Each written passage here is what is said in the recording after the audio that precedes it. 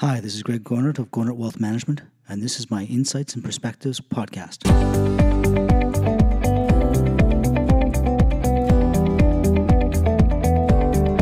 Welcome to the July 15th edition of my Insights and Perspectives podcast. In this month's Business Owners Toolkit segment, we'll be focusing on growing your business with author and business coach Eamonn Percy. Eamonn Percy, if you could go back to the beginning, 20 years ago, what's the one piece of advice you wish you could have told yourself? I think about that a lot, and I set some pretty big goals.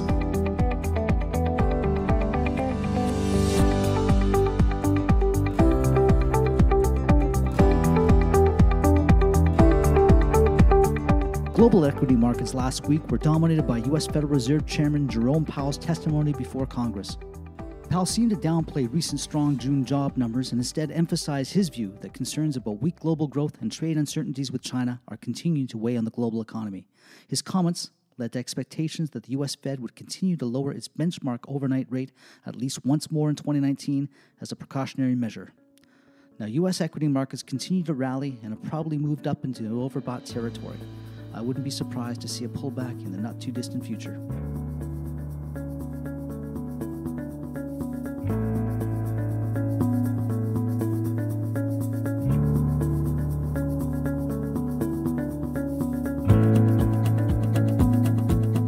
My guest today has held multiple senior leadership roles with top global companies PowerTech Labs, which is a division of BC Hydro, Ballard Power Systems, Pirelli Cables, and Ford.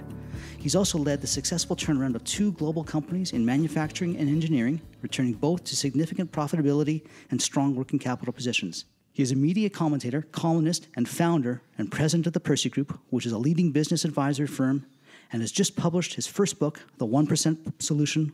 Welcome, Eamonn Percy. Thank you very much, Greg. Thrilled to be here. I'm so glad to have you out here. Now, Eamonn, this is a business toolkit kit segment, and it's designed you know, really to help business owners as they grow their businesses. Um, what pitfalls do you see on a regular basis, and, and what advice could you offer them from, from the external viewpoint that you often get? Sure. So I work with executives, entrepreneurs, and business owners of mid to large size companies, and typically manufacturing or industrial products uh, companies. And it's terrific because you get to work with the leader that's driving the change in the organization. And most companies, there's a veneer of what they're doing, and then I get to pull the curtain back and see what really is happening and then help somebody make a change. And there's really three areas that I see the greatest pitfalls of these business owners and entrepreneurs. And by the way, these are already high performing business owners and entrepreneurs. Well, that's that's the thing. A lot of us don't realize, or I recognize it, but a lot of people don't realize just how we constantly have to up our game. And even successful businesses, you can see them failing in different areas, and uh, it's those little things if they're not caught can cause big problems. A hundred percent. Yeah. And these are very motivated men and women, and they're looking to take their performance to the next level. Yeah. It's not as if they're really needing to fill in some big gaps. It's yeah. they've got great businesses already. The business businesses are performing at a good level, but they want to go further. Or the world is changing in some way. Or it's a family business, and there's an intergenerational transfer of knowledge and skills. So that those are typically the scenarios I get involved with. So there's really three things that I that I see. It's it's personal, process, and people. And by personal, I mean uh, the greatest pitfall I see with executives and entrepreneurs is when they spend more time working on other people or working on the business than they do on themselves. So they don't really have the internal awareness or focus that they really need to continue to work on themselves as a leader. And they're very focused on their team and the business itself. So that's number one. That's under personal. I'll go through them and then we yeah. can uh, go through it in more detail if you like, Greg. The second one is around process. Even larger companies still tend to scale with people. They tend not to scale with business processes or systems. And that might work in the early days, but it doesn't work in when you get to be a larger company and it's more competitive like it is today because you need to be focused on margins, you need to reduce those cycle times, you need to improve customer satisfaction, and that's all about running a very clean, systematic, and value added process. And you see that a lot today with e commerce and other companies. And the third one is a general category called people. And there's a lot of challenges with people. It's about getting the right people into the organization, holding on to the right people, knowing who to promote and who not to, and then building that executive team that's going to execute against your vision. So it's really all about the personal aspect, specifically leadership, the process, and then ultimately getting the right people. Interesting, because the first thing that you said that stood out to me is that you have leaders and leadership that focuses around about on the people around them rather than focusing on themselves. Maybe expand upon that a little bit because I think a lot of times we all fall into that trap where we're like, oh, if I just fix you, things would be so much better. Right, right. Yeah, if it's just everyone else. just, yeah, well, if the rest of the world marriages get, don't work that way either. if the rest of the world can get their their, their stuff together, yeah, wouldn't that be great for me? Awesome. Yeah, it'd be awesome. But the reality is, this gets magnified when you're in a business, especially the executive or the business owner, because those small and it's both positive and negative, but those small attributes of an individual or a leadership get magnified throughout the organization. So, where in a smaller business, it may be something you can overcome, in a bigger business, it actually can become quite a detriment to moving the business forward. And I'll give you some specific examples. We all have natural uh, areas of interest and attributes that we focus on. Sometimes, under stress, especially for a CEO, that CEO will go back to that area of focus. Maybe it's operations, maybe it's product design, maybe it's HR. Whereas what they need to do is focus on where the greatest need is. So they may not have sufficient self awareness to understand that they need to work on themselves at times of stress, in this particular example, to be able to focus on where the greatest need is. A lot of them, or many of them, are not necessarily, even though they operate at a high performing level, they're not necessarily engaged in a very consistent long term program of personal continuous development and leadership development. So over time, the world changes and the business changes, but they don't su- sufficiently change along with it. Not all of them, but but many, and they become surrounded by people that that may be supportive and like them. But the market may start to shift or it might start to be disrupted, especially today with so much going on. And they're not well equipped to understand what they need to do individually to make that change. Interesting. So, would that take the form of like peer coaching? Because I, I, think the other thing that, that tends to happen, especially in leadership roles, is, is uh, they get siloed, they get isolated, and uh, you can't talk to your competitors about what's going on. And so, you know, there's a there's a, a worldview that that if, I, if I'm hearing you correctly, and I have seen it myself, or um, you, you, tend to become become static, and uh, and as you said, the world moves on. So, what are the people that are successful? Um, doing to avoid that fate? Yeah, so the successful people, number one, they're aware of it. And, and the, then the very successful are aware of it and take very specific action knowingly, even if that action is difficult or painful. And you're right, you can get siloed because you may not necessarily want to share every bit of detail with your board, depending on the dynamics, nor every little bit of detail with your executive team sure you can go home at the end of the day and you can speak with your spouse or your partner about the challenges but there's not a whole lot they can do other than provide support. Mm-hmm. so there's a risk that you become more siloed rather than focusing on what do you need to do specifically. So uh, peer groups is a great way to do it. After awareness uh, peer groups is a great way to do it. Finding people on your executive team that can support you, the right people. I've had a specific tactic where, with one company, I formed what I called a kitchen cabinet, and there was a group of people in the organization that weren't necessarily on the executive team, but people that had the personality that would tell me what I needed to hear. Not what I wanted to hear. Well, yeah, because there's two types of people in the world. There's people who will tell you what you want to hear, and there's people who will tell you what you need to know. Right. And, and, that depends on the person too, on the other side. yeah, yeah, and you have to be very careful about yeah. getting that right type of person. So yeah. seeking out that person or those people, and I found that very helpful because often on executive teams you may get the dynamics of uh, there's always a political element. So the executives that that seek out that.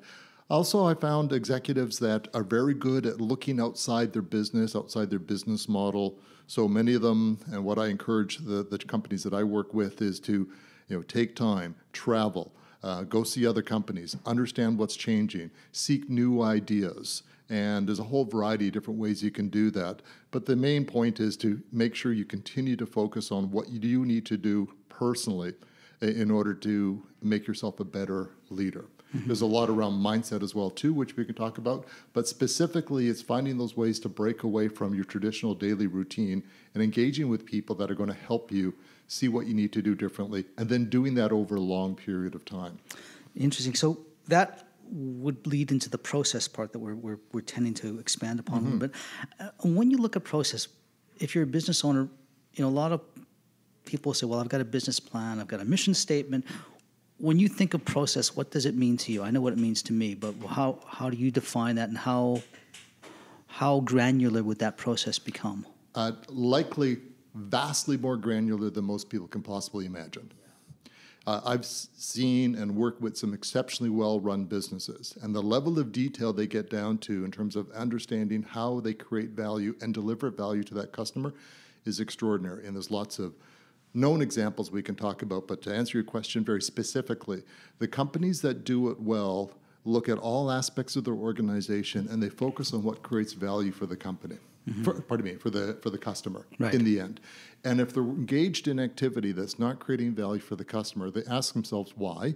And if there's no good reason why you're doing it, you pull it out. Right. What tends to happen is companies go through a business life cycle. So I'm sure you and your listeners are familiar with the S curve of starting as a startup company and then you go through a high growth mode and then the S starts to level out and then you mature and then ultimately you either die off or you start a new S curve. Mm-hmm. And the goal is to make that leap at the top of that S curve onto a new S curve where you become a different company. So as these companies go through these stages of growth, let's say from the zero to five, and then five to 20, and 20 to 50 million, those three examples, they're actually becoming different companies at each stage of that life cycle. So, what they need to do to be successful is they can't scale up and do the same things that they do at the 0 to 5 level and expect to be successful at the 20 to 50 level. The ones that do will scale up with people. Mm-hmm. And they will scale up inefficiently. And it doesn't mean that people are bad. It just means that what took one person to do at 5 million, you now have five people, but that's eating into margin and competitiveness. So along the way, you can either get disrupted and changed and try to put in more systems, or you can take a, what I encourage my clients to do is to take a systems mindset so, any aspect of the business, as you're growing and growing revenue and then flowing it to the bottom line, keep asking, what can I do to make this more systematic? Now, that doesn't mean a bad experience for the customer. Quite the contrary, it means a better experience for the customer. And I would think a more consistent experience as well. Consistent, exactly. And then consistent, predictable business function, and then ultimately cash flow, which is increases the value of the, of the business, the enterprise. Yeah, because I always look at that on my side that, that consistency breeds confidence, and confidence breeds trust because you know what's going there. And and uh, it's just so important, especially as you as you grow your business. Wise, you know, we've got a detailed business plan. In fact, I get laughed at quite often about how granular I can get to and who's doing what and who's doing where. But yeah. that's the only way to be in my mind. Well, and if you're getting laughed at because you have a business plan that's too granular, that's a good thing in my world. That means you're doing something very right. Yeah. And uh, the level of detail that the companies that I work with go into, not necessarily the CEO, but he or she has to drive that detail into the organization, is quite high. Because what happens is, as you're delivering value to the customer, if you're looking at it from the customer's perspective, you need to know what's most important to the customer. And it may seem like a small thing within the organization, but it could be a big issue uh, to the customer. So, for instance, uh, recently worked with a company that was having some challenges around labeling, mm-hmm. given all the changes that are underway right now, as I'm sure you know in your business with the tariffs and exports, and we're in a globally connected economy. And that relatively small item, because it wasn't systematic enough, was causing a significant material impact to the business. So, what I encourage uh, companies to do, the CEOs, the business owners, is to take a step back and to start to building a pillar of a process driven organization. It's just one of many pillars. There's, there's people, there's culture, there's a lot of other aspects to it. But start thinking about how can I systemize everything that I'm doing, and ultimately that will unleash value and enable you to scale more quickly. Mm-hmm. And I can talk about some specific tools companies use if that's helpful as well. Yeah, no, I'd, I'd love to hear specific tools. Um, the other thing is when you're when you're dealing with companies, do you ever get any pushback from from people going, "Why, why do I need to do this?" Uh, yes. and what and, and, what forms does that take, and and and uh, and how do you kind of walk them through this? Because I.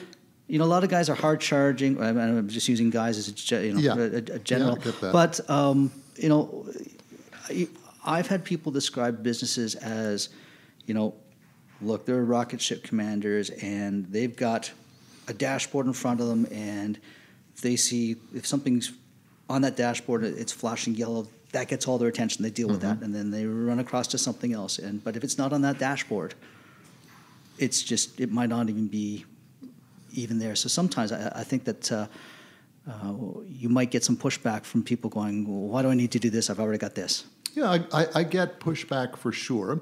And what makes me different is I've actually run companies before. Mm-hmm. So, not just worked in a company or been at a senior level, I've been the person, the leader at the top of the organization that's run it. And so I can look across the table from this man or woman mm-hmm. and say, I've been where you are right now, and I understand precisely what you're going through, and I understand the nature of the pushback. Right. The pushback might be fear. Yes. Quite frankly, manifesting as pushback. It may be lack of understanding. It may be lack of awareness. You just don't know. And we all tend to be fearful about things we don't know. Or maybe you do know and you just don't want to do it. Well, there's quite frankly. Too, yeah. And um, or maybe you you know you want to do it, but you don't think it's going to work. Now, does that and that brings up a good point because you know, say there's a company that it's kind of gotten to a life cycle. Maybe the the the founder has gotten to a certain age where he's not really sure he wants to put in that extra mm-hmm. level. So, how do you deal with companies like that that that are probably in that that edge of maybe you know over the next five years going away? They don't need to go away, but mm-hmm. you're in a situation where uh, there's there's a real danger there with the with the leaderships that have gone, hey, this is the way we've always done it, and they're mm-hmm. they don't realize it, but they're they're thinking about the golf course. Yep. Yeah. yeah. I call that the success trap and there's analogies in your world in the financial management world as well too that there comes a point where you've done well and you've earned uh, a certain amount of monetary satisfaction yeah. and assets. But if you rest on your laurels too much you may actually increase the risk. From so from a business perspective um, there's not sufficient reserves in the business so what I tell owners in that situation is, okay, first off, you have to think about what are you trying to do here? What's your legacy? If it's a family business, are you transferring it to the next generation? And if so, what's your expectation and how do we build in reserves to make sure that what you've built up so far is protected, number one, mm-hmm. but nobody just wants to uh, flatline it, but then we have to grow it at a second level. Mm-hmm. So back to your pushback question, sometimes that's the nature of it as well too. Or sometimes the world has moved on and these individual owners don't necessarily see how the world has changed and they can't put it in terms that relate to the business today. And there's just so much disruption going on right now uh, uh, greg that it's not only sectors that are being disrupted but even companies in more traditional industries are still being disrupted you start looking at millennials in terms of how they're being uh, hired and the view that they have. So you can have a very traditional, stable business, but you need to hire younger people. And if you're not understanding how to change it, you're being disrupted in some way. I tend to believe that virtually every company today is a technology company. Most just don't know it yet. Right. They think a tech company is Google, but in actual fact, it's them being disrupted by technology. So when that man or woman is sitting across the table and giving me pushback, I start with my own experiences and then I help them understand what's the nature of the business, where are they in the life cycle, and what do they need to do to get it to the next level. Okay, so so you were going to mention earlier, walk me through some specific strategies you use to, to help uh, business owners and entrepreneurs in these situations walk through this. Sure. So there, there's three. So number one is I have them articulate to me their business plan, their vision. I go through a, a template. It's called a balanced scorecard, and it has a vision, mission, strategic objectives of the organization, the uh, how you're going to achieve those objectives, strategic goals, and then the initiatives and measures to make it happen. And it's an integrated approach. So I start with asking them, "Show me your plan." Now, you'd be surprised how few people have the level of detailed plan that you mentioned earlier. If they don't have that plan, that's them starting to become self aware that they're missing a, an individual piece. That's right. number one. The second thing I do is um, there's a gentleman here in town who does a terrific job in terms of leadership and management assessments. Mm-hmm. I highly encourage them to go through that process. I, I'm not in, it, have any interest in, in what he does uh, financially, he's just a really terrific person at doing that. And he produces a report, and it's often the very first time somebody's had that level of third party outside objective feedback on their own individual personality traits, their skills, and they have something called a management potential indicator, which breaks down numerically how good are they as a manager. And often it's not what they what they think. So I, I seek third party outside uh, information. The third thing I do is I expose them to other aspects of either sectors or businesses that may not have experience with. I either do that with connecting them with other people, or we'll actually go visit another facility and they'll see for themselves. And often that opens up their eyes to the possibility that's what's out there. Because now that you brought up a good point, because I've noticed that too, that entrepreneurs are remarkably willing to share what works with them and what doesn't work with them. They, they're very open, and, and it's like it's, it's like we're all on the same team, and you, a lot of them will really want to help them. And, and because I'm, I'm a big fan of, of, of business groups and, and peer peer group and peer coaching, mm-hmm. um, because you've learned far. First, it's it's far more fulfilling, and second, you learn far more from from the other people doing. Not even if it's in your own sector, but just seeing what people are doing and mm-hmm. uh, and what you can adapt to yours. That's uh, I think that's something that we don't always recognize is just um, how generous with their time that other entrepreneurs can be. Yeah, yeah, exactly. And that's why my number one list on the three pitfalls that you asked about is personal, personal leadership development. And if you can reach out to other entrepreneurs, business owners, they'll be extraordinarily helpful because they want they know that they may need the help someday as well too. So that's I facilitate that. Plus, there's there's more formal groups that do that. There's mastermind groups that do that. And quite frankly, for a larger company, a very high functioning board will do a terrific job of supporting the CEO in that environment as well too. And I've had the good fortune of being in those environments, and it's really terrific. Some private companies that don't have a traditional board will set up an advisory board, and they'll operate as that function as well too. But it ultimately comes back to the individual entrepreneur to ask themselves, it's not what I know, it's what I don't know. And if I don't know it, what is the risk and how bad could that be on my business? Or the flip side, what is the potential opportunity that I'm leaving on the table? Mm-hmm. So, what I do is I'll bring that perspective to the organization, help them become aware, and then together we'll work on a plan to execute and making it happen. Interesting. So, vision, mission, walk through the other two that you had in your on the sorry, balance was, scorecard. That was a balance yeah, scorecard. Yes. Yeah. So it starts with the vision of the organization: is what's your purpose? What's your why? Why are you actually doing this? And that's always fascinating. It's something I'm very passionate about personally. Is that Simon Sinek? The yeah, start, start yeah, with why. yeah, and it's a great it's a great reminder. Like, why do we do what we're doing? And for a lot of business owners and entrepreneurs, it's it's really to make a big difference. And I like doing that because I get to help other people achieve their why. Yeah, that's that's a, my my very favorite, um, or at least one of my my favorite um, TED talks is uh, Simon Sinek's. You know, uh, start with why. Yeah, yeah. I don't know how many tens of millions it is, but yeah. it's it's incredible. Yeah. So it's it's the vision, the the why. The mission is is what's our how we're going to achieve it, and then what are the strategic objectives of the organization. So you may want to dominate your market. You may want to focus on innovation. And then from there, what are the goals? You have to have business goals, three to five year time frame, and then it gets down to a narrow time frame. The balance scorecard is great because it has four foundations and it, you know around uh, customer, internal processes, financial, and then um, your organizational capability what are the actual projects that I'm going to put in place to make that happen? So it's very much like a pyramid, which is the top, we're, we're creating value or we're, we're achieving our, our purpose and then we're creating value for the companies, and then underneath the whole organization is pulling in that direction. So really good leaders, when I keep going back to the personal side, they have a unbelievable obligation, not only to themselves, quite frankly, to the customers, but to the employees and their families and the communities to really get this right. So if there's areas individually that they need some help with, and again, this is not remedial. That's, these are high performing. For you to end up at the top of a large organization, either a family business, a public company, as an executive, you have done many, many things right. But even at that point, you have to stretch a little further. So by starting with that personal side and achieving the best you can possibly be by using these specific tools, you're making a big impact not only in your organization, but in your family and your business. Interesting. No, that's that's so important.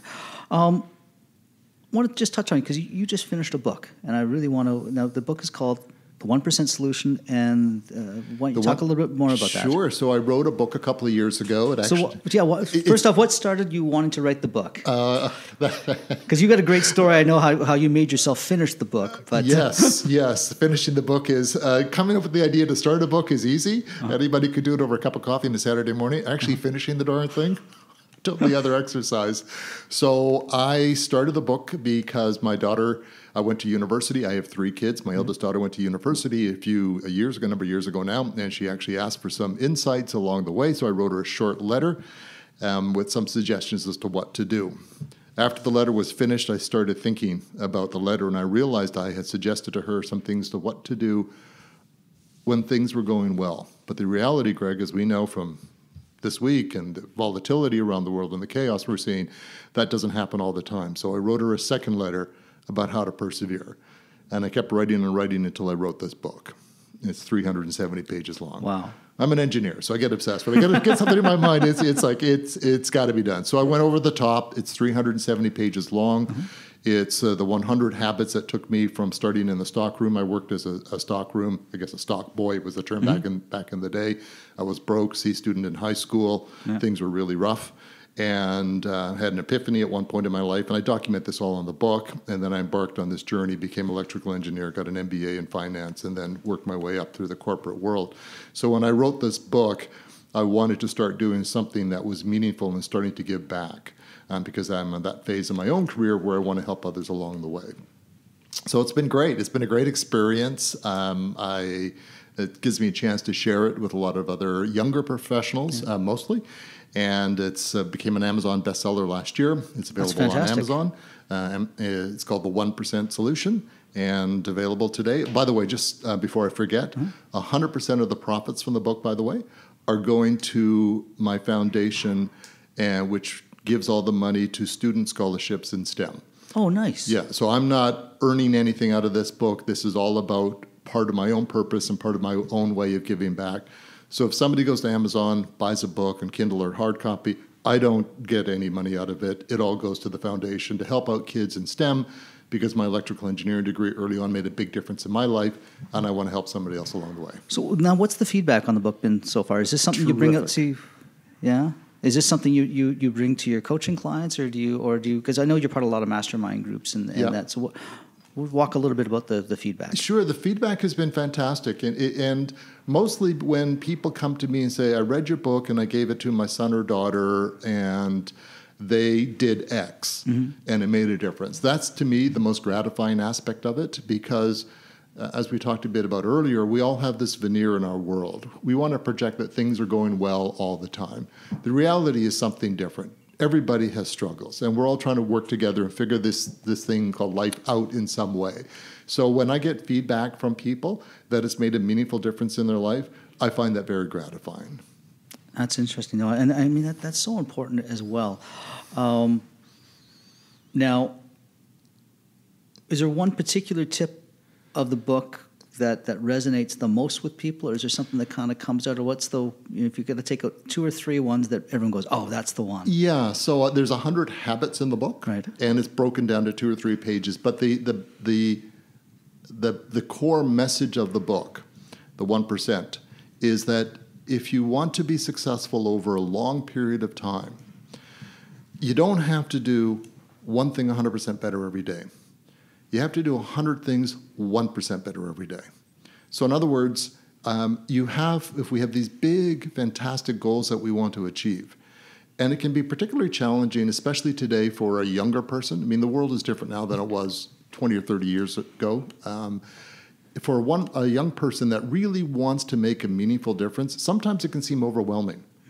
So, what I suggest in the book is to take that big goal and start to break it down piece by piece. What am I going to do this year? What am I going to do this month? What am I going to do this week? What am I going to do this hour? So, the idea that if you just work a little bit better every day, that the cumulative uh, compounding effect of that can really be quite staggering over periods of time.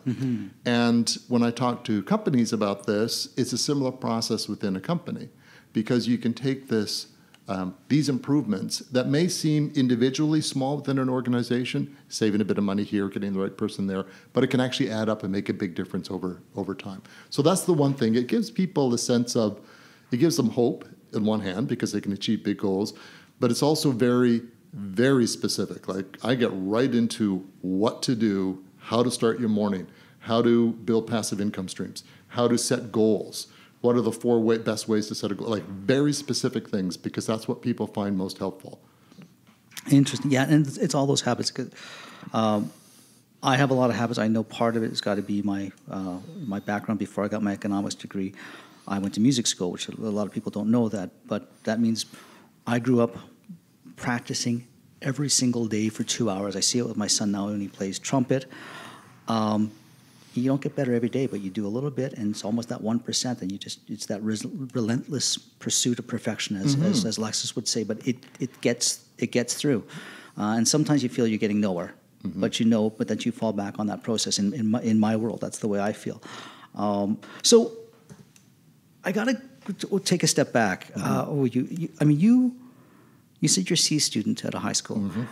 Now you end up getting an electrical engineering degree, mm-hmm. and then you got your uh, master's in fi- your MBA. MBA, yeah, from so, Rotman U of T. So, what brought that all about? Because that's that, I find that I mean, obviously you're, you're incredibly successful now uh, as a business person. You're right. You've seen some incredible companies, but walk me through how that, that evolved because I think that's just as interesting a story as, as this. And I, I no disrespect to, to what you do because I think that's that's incredibly interesting. But I'd like to hear a little bit more about the man and, and how you got to this part of the journey. Sure. So I'll, I'll back up a little bit. Yeah. Um, I'm actually an immigrant to Canada. I was born in Ireland. Okay. Um, but lived in Canada virtually my entire life, and the uh, son of two absolutely terrific parents. I came to Canada to carve out a better life, and we ended up in Vancouver. Actually, started Toronto, then Calgary, and they kept going west until they hit the water. it stopped there. okay, we can't go. but maybe we could have gone to Victoria, but we couldn't go any further. So they stopped when they came to Vancouver. Yeah. Carve out a life for us here. Um, we actually, there were seven in the family. We had a tough start, like a lot of immigrant families. Even today, we lived in a motel on the Kingsway uh, for about six months. And when I was in grade four, and that was really my introduction to Vancouver. Uh, both my parents worked very hard, ended up moving us into a great neighborhood. And I went to a great school. My parents actually worked hard to put me into a private school. And then in grade 10, being 16 years old, I had all the answers, so I elected to pull myself out of that private school. Uh, yeah. As, as they say, youth is wasted on the young. exactly. So things um, went poorly from there. Uh-huh. And um, it was three years after I graduated from high school, I was working at a um, London Drugs as a, as a stock boy. And poor student, no money, no resources and you don't realize when you're young that things can change so dramatically. And I think this still is in my mind to this day, which is why I don't like um, you know for companies to get too comfortable because well, that's you, it. You never know what can happen. Was that there's that whole concept that um, mastermind group that I'm part of that that brings up on a constant basis that the scariest place to be is in your comfort zone because every day your comfort zone gets a little bit smaller and you don't realize it so the goal that we always strive for is to always want to be uncomfortable. That's it right. means we're trying different things, and and that's the, the thing because it the comfort zone, it's a nice warm place, but it gets smaller and, and, your world closes in around yourself and you, you you're isolated. That's exactly yeah. it. And the world can close in and if you're a CEO and you're becoming too comfortable, the world's starting to close, it has a big impact on a lot of other people. Oh, yeah. So one of the things that I do to this day is I have a a list of goals and what I go through every morning. And in order to keep expanding my comfort zone, every day I try to do something that makes me afraid. Every day. Now these aren't big, like I'm not bungee jumping every day. so they, skydiving at seven. Though we are in a pretty tall building here, so maybe I'll give this one a try. Uh, but it's just the idea of you know what's new and what's different and how can I expand. So I went through this experience when I was young, where I had this epiphany. One night I was at a at a, uh, a party, and a number of my friends who'd gone to from high school straight to university were coming back, and they were three months from graduating. And um, it just hit me like a ton of bricks because right. all of a sudden I'm, you know, life, three years had moved on. Life moves fast. life like, wow. moves extremely fast, and here are these men and women getting degrees. So I had an epiphany. I went home that night and I pulled out a piece of paper and I wrote five big goals. I document this all in the book, by the way. Okay. Um, and there's a personal uh, story in there. I wrote five big goals. And I immediately the next day embarked on achieving those goals. And one of them was to get an electrical engineering degree, and the other was to get an MBA. Now, at the time, I had grade 10 math, and I had no idea how at all. So how did that work? yeah, it was tough. How, how was it, how was cal- calculus at that point when you kind of left like well, I didn't realize that electrical engineering is basically math. yeah In actual fact, I found out when I was in the program that I only needed to take two more courses and I would have had a dual degree one in math as well too. So I didn't know that at the time. so so how did you how did you accomplish that? Did you get tutors like what? so I did you go to started on. A, I started on. I I I ended up going to BCIT 1st Mm-hmm. and then BCIT, terrific organization. They had a program where you could transfer the credits to Lakehead University in Northern Ontario, which is actually where I went to engineering school. Okay.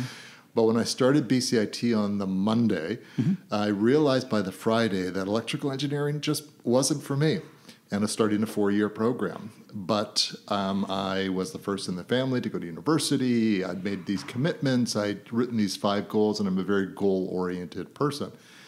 So stuck with it for four years and finished the entire program. And it's like a lot of things. Once you get into it, it actually does tend to get easier and more familiar. You know, back to the comfort zone. Um, and then I ended up finishing that that program at Lakehead. Came back to Vancouver for a few months, and then started my career working in Toronto. And then worked at the Ford Motor Company in the electronics division. By this time, I was a little older because I had been uh, three years later starting school, so I didn't graduate until I was 25.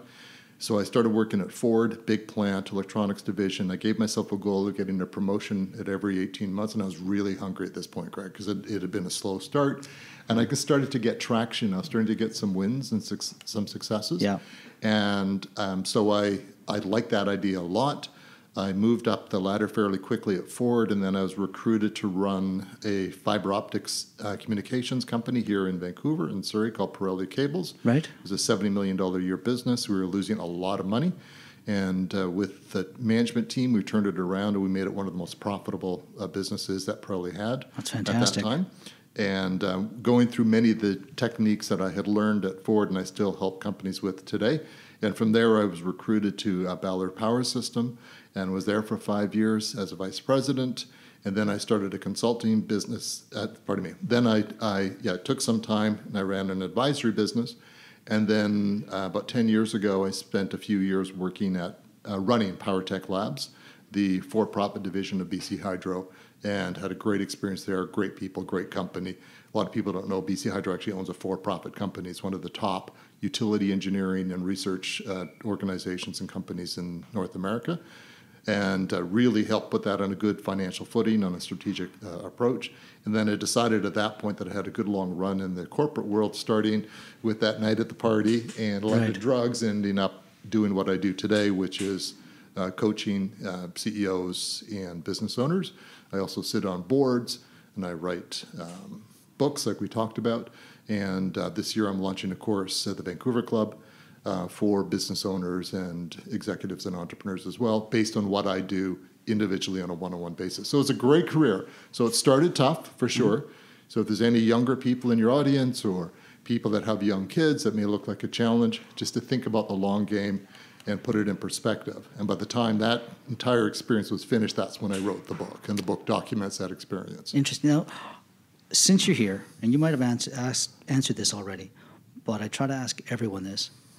Eamonn Percy, if you could go back to the beginning, 20 years ago, what's the one piece of advice you wish you could have told yourself? That is a great question. And, and I think about that a lot. And I set some pretty big goals, but if there's one piece, it would be to set my goals even bigger. Interesting. Uh, and what, re- what does that mean to you, uh, set them bigger? Because when you're a young person, you, you don't have a full understanding of how you can transcend the difficulties around you and transform yourself as a person. You, you, you, you achieve the goals that you're capable of at that time. And if you have limited skills and contacts and resources, that's what your goals will be. So the objective over this long career is to transform yourself into someone else that can achieve big goals that you can do something worthwhile with those big goals. By way, Right. That's that's the end game. Doing something worthwhile. It's not achieve the big goals for purely financial reasons. It's what can I do with that. So if there's one thing, and I set some pretty big goals, and I'm very happy with Mm-hmm. my my career. I'm very happy doing what I'm doing now. I really love working with with entrepreneurs and CEOs. But that's the one thing I would do. If you said, Eamonn, what's the second thing? I would, which you didn't, but if you did, I, I want to know. I would say to uh, never give up, no matter how hard it is, and to constantly persevere yeah. Everyone gets knocked down. all the time. Yeah. Yeah. Getting back up is the important part. Yeah. So, well, Eamonn, it was fascinating having you out here for, for this interview. Um, you've got some wonderful insight, and I hope you come back and join us again sometime. This was this was awesome. This was Eamonn Percy. Thanks very much, Greg. I really appreciate the opportunity. You're welcome. Hey, thanks for listening. Don't forget to subscribe and visit us on our website at greggoernert.com. That's G R E G G O E R N E R T.com. Thanks again.